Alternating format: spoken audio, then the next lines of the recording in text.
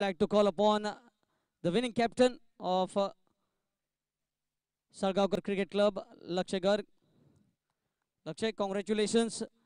You lost the toss, but apart from that, everything went right for you. You picked up uh, wickets very early of the opposition, and then you, when it came to the run chase, seems like you were going comfortably for the run chase, but last few overs, uh, you lost three wickets in quick succession. That pushed you slightly back, but your uh, later batsmen made it sure that uh, they were comfortable with the run chase.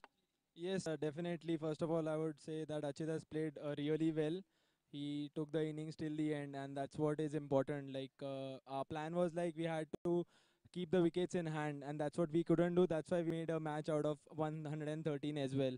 So, but we, I'm happy with the bowlers, bowling department, and the fielding department is very good. Batting department we would like to work on.